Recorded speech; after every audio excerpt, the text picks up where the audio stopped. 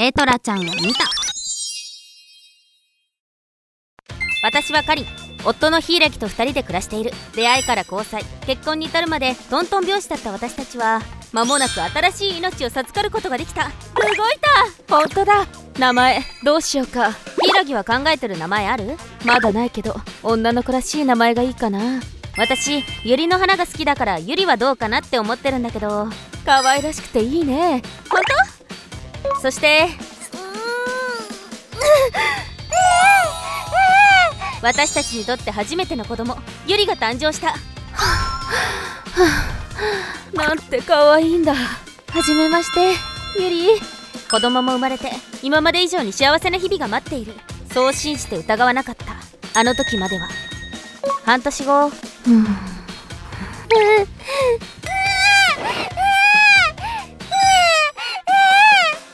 はい大丈夫だよ。ママもパパもいるよ。よしよし。半年が経過した頃からユリの夜泣きが始まった。うん約2時間おきに起こされる夜が続いている。明日も仕事だってのにここまで頻繁に起こされちゃたまんないね。赤ちゃんだからしょうがないわよ。とにかくそれ以上は泣かせないでね。私だって働いてるのにあなたが生活費に余裕がないって言うから1年も経たずに私仕事復帰したんだよ。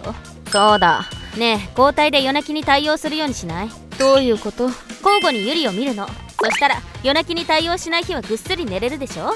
まあそうか。2人いても意味ないしな。じゃあ今日は私が見るから明日はお願いね。分かった。こうして私たちは1日ごとに交代でユリの夜泣きに対応することとなった。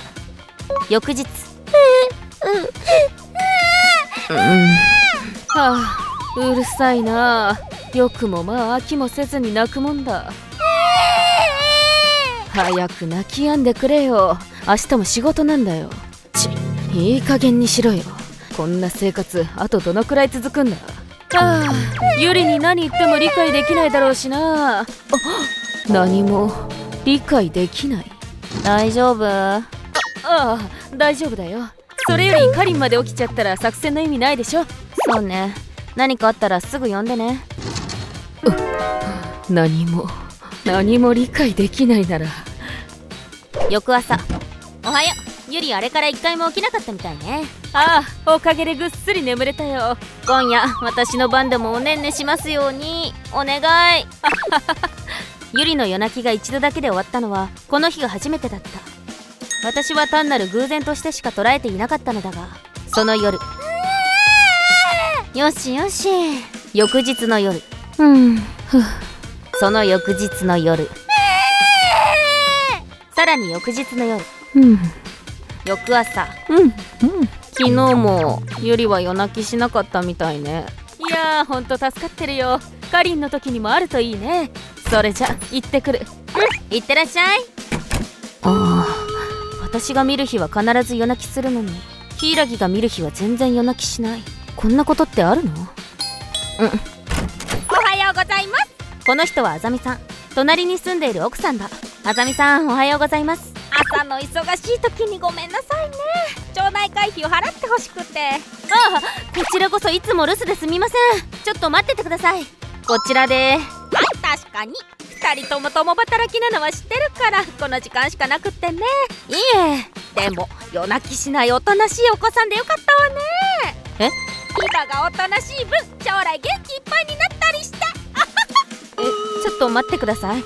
夜泣きしない子？あら？しないんじゃないの？この前旦那さんと会った時そう言ってたわよ。柊が？お？どうしたの？あいやどういうこと？夜泣きしないのは柊が見る夜だけで。これじゃまるで自分が見る日は絶対に夜泣きしないと確信してるみたいな。うん。違和感は疑惑になりそして決定的な事件が起きた。今日も静かだ。ユリの泣き声は一度も聞こえてないうん。思い過ごしか。ん。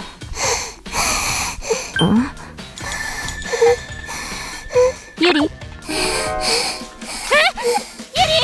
リ？なんだ？救急車。早く。ユリが苦しそうえ？あああ。吸引器急いで。はい。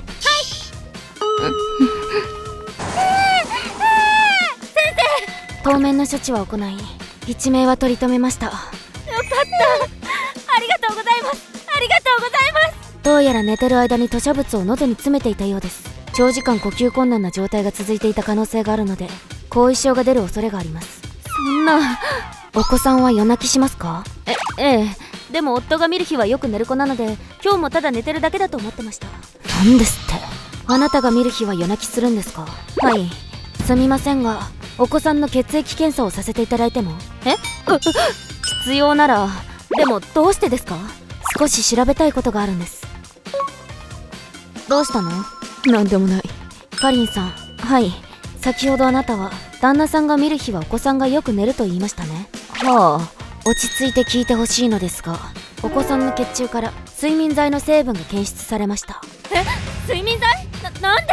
なぜでしょうか？その答えは旦那さんが知っているような気がします。柊が？どういうこと？大人用の強い睡眠剤が使用されています。神経系に障害が現れるかもしれません。柊あなたまさか。本当に心当たりありませんか？ユリが悪いんだ。ユリが黙って静かに寝てれば僕もカリンも楽だった。わざわざ僕が睡眠薬を飲ませる必要もなかったんだ。飲ませたの？こんな小さい子供に？どうせ子供だから何を言ってもわからないし何をしても理解できない。だったら薬を使うだろう。薬に頼って何が悪いんだ。あなた正気？カリンだって毎日辛そうにしてたじゃないか。僕はカリンが幸せになるように家族のためにやったんだよ。ふざけないで！私の幸せはユリが元気に育つことよ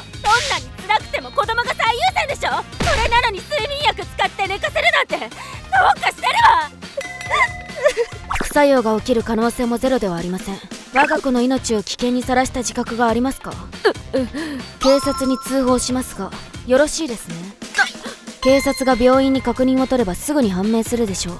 お子さんが睡眠薬を飲んだ期間は毛髪鑑定すれば服用から数日経っていても検出できます。何より奥さんの証言が全てを物語っていますよ。そんな。そして警察の調べで事件の詳細が明らかになった柊が所持していた睡眠薬は数年前に彼が仕事のストレスで病院通いしていた際に処方されていたものだった。薬が残っていたことを思い出した柊は錠剤を砕いてミルクに混ぜユリに飲ませていたのだった。娘の夜泣きの話は刑事事件に発展し柊は逮捕された。カリー！私は当然柊とは離婚しユリと2人で暮らすことにした。引っ越し先も連絡先も柊には伝えていない。25年後お母さんおはよう、おはようございます。おはよう。ちょっとは寝れた？もう夜泣きがひどくてさ。2時間くらいしか寝てないと思う。眠すぎ。ゆりは幸いにも無事に成長し心配された知能や運動能力にも問題は現れなかった。そして結婚し半年前に男の子を出産したのだ。後で昼寝したらその間見てるわよ。ありがとう助かる。ゆりは子供の夜泣きが始まったことで少々やつれていたまるで昔の自分を見ているようだ。大丈夫？うーん。あ どうしたの？今はすごく大変だろうけど後になって思い返してみるととっても大切な思い出になってたりするものよ。そうかな？あ今笑ったよね。ずりーよな。わがままし放題でもこの笑顔で全部許せちまう。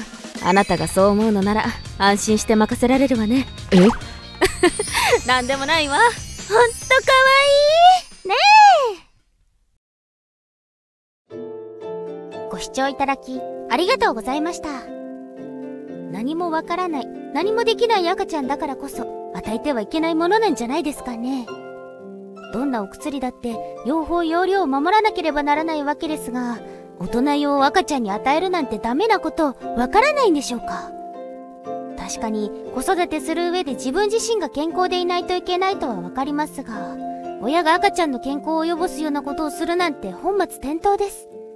あの時異変を感じていなかったら、大事なお子さんはこの世を去っていたかもしれない。自分がどれほど罪深いことをしたのか、反省していただきたいものです。皆さんはどう感じましたか？コメント欄に書いていただけると嬉しいです。また、無事に育ってよかったと思った方、チャンネル登録と高評価をお願いいたします。